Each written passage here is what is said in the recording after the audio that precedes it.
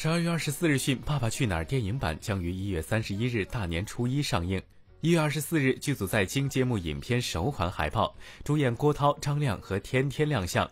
天天由捧场王变剧透王，对片中动物园探险内容无底线爆料，不仅讲出会跟长颈鹿和名叫三毛的大猩猩玩，还会给河马刷牙。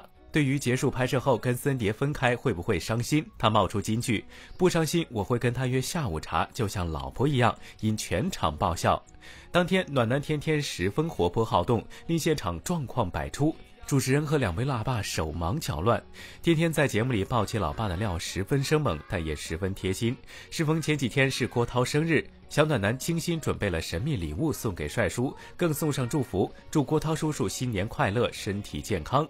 此外，天天还带来了石头、Kimi、Angela、Cindy 等四位小伙伴的生日祝福 VCR，把帅叔感动到不行。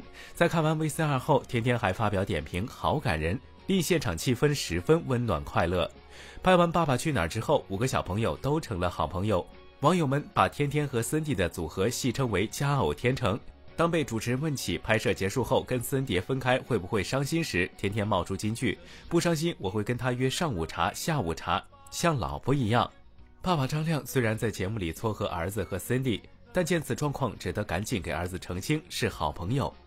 其实你跟 Cindy 还约着一起喝奶茶什么的，可以继续这样约在一起玩，对不对？对，然后然后还能他去我家，我去他家，然后还还能约，还能约，还能约着一起，还能约上午茶，还上午茶、下都可以，反正可以约着一起玩啊。对，你跟小朋友们是不会因为这个节目停止就不在一起，像老婆一样，像老婆一样，像老婆一样。